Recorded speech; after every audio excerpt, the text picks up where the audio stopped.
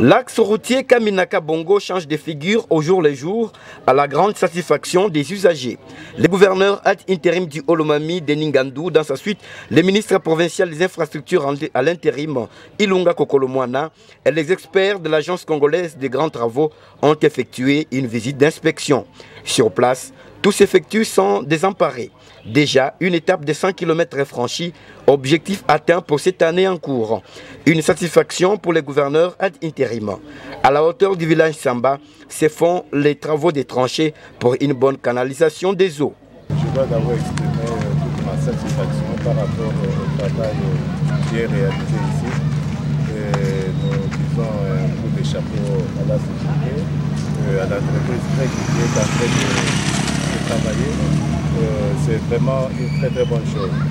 Il y, a, très peu, je suis passé par ici, euh, ce n'était pas ainsi. Aujourd'hui, je trouve que les choses se sont passées de manière euh, satisfaisante et ça fait, ça fait que complet notre joie.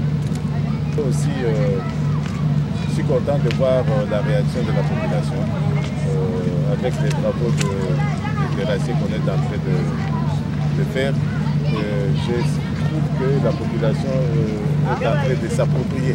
Hein, ce travail qui est en train de s'approprier. Ce qui est vraiment chaud pour nous et pour euh, la longévité de cette route. Pour l'ingénieur Merlin Kazadi de l'Agence congolaise des grands travaux, tout se passe comme prévu en attendant les deuxièmes financements pour les autres 100 km restants. tout va bien.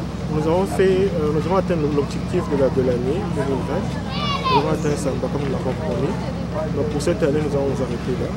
Comme vous l'avez vu, nous faisons des travaux d'évacuation des eaux, d'assainissement, pour protéger ce que nous avons fait. Ça fait près 107 km de Camina. Et en attendant l'année prochaine le financement de la deuxième tranche afin de, rouler jusqu'à Cambodge.